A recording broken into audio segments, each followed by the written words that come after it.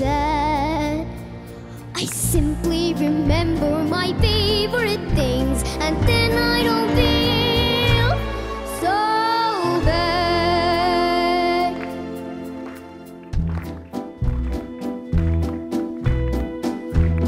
Raindrops and roses and whiskies on kittens, bright copper kettles and warm woolen mittens, brown paper packages tied up with strings.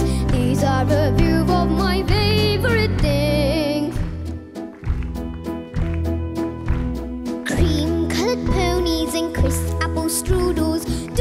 and sleigh bells and sweets too with noodles. Walkies that fly with their moon on their wings. These are a few of my favorites.